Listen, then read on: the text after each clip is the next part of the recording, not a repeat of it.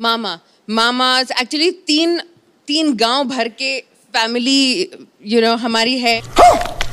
मेरे नाना जी की दो शादी हुई थी अच्छा जिनसे मेरी मम्मी के अ, है हमारे दस फैमिली मेंबर्स हैं जिनमें चार मामा है छह मासीज हैं। तो So नाना जी काम तो नहीं करते होंगे कोई फिर?